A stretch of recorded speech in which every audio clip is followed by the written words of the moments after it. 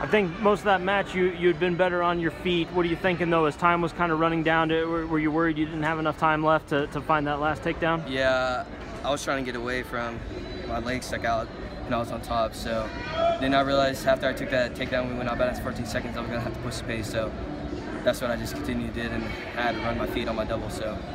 How dangerous did, did, he start to become when you guys got to the mat? It seemed like that's where uh, he had his most success was just trying to uh, to work on top and, and, find something unorthodox. Yeah, he was he was pretty funky, and I just had to stay true to myself and keep like what I worked best on. So I knew if I was able to run my feet, then I'll be able to finish. So. Uh, starting off with you know kind of a match of what I would consider fairly even kids, you should see a lot of that today. Yeah. Were you just hoping to start it off right for Kansas? And yeah, yeah. Since they changed it up, I was hoping to you know get the fire started for Team Kansas, so we can get this win as a team.